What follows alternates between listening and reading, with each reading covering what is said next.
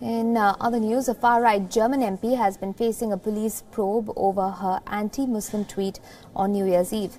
Beatrix von Storch, who is the deputy leader of Germany's far-right AFD party, could be charged with incitement to hatred.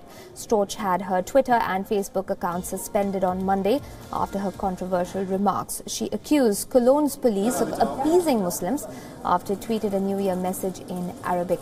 The Cologne police also tweeted its New Year message in a number of languages, including English and French.